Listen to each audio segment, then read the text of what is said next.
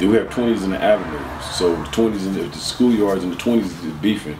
Nine times out of ten, the guys that's fighting with the schoolyards, they didn't, they don't, they're not even coming off of Adams Boulevard. They come from Venice and Arlington.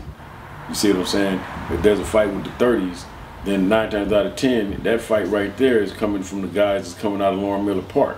If there's a fight with the 18th streets, nine times out of ten, that's coming right off Adams Boulevard with the, with the group that's hanging on Adams. Fight with the Mid City, that might be coming out of the Avenue 20s back over there by 17th around Arlington or Venice, or in the area around Western and Washington.